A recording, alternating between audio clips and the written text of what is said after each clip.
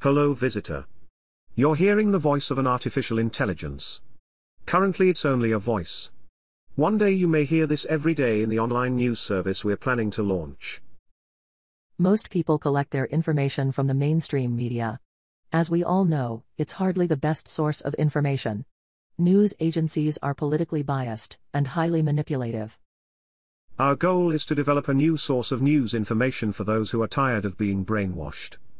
We are scouring the depths of the internet for credible pieces of information, and present it daily as a video news service on popular social media platforms.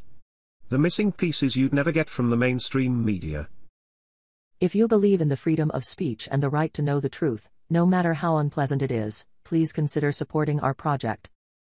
Our service will be available in multiple languages, not only in English. Hallo, jetzt spreche ich Deutsch. Maintenant je parle en français. 小熊维尼是个白痴。 We're coming soon to scare your local news censors.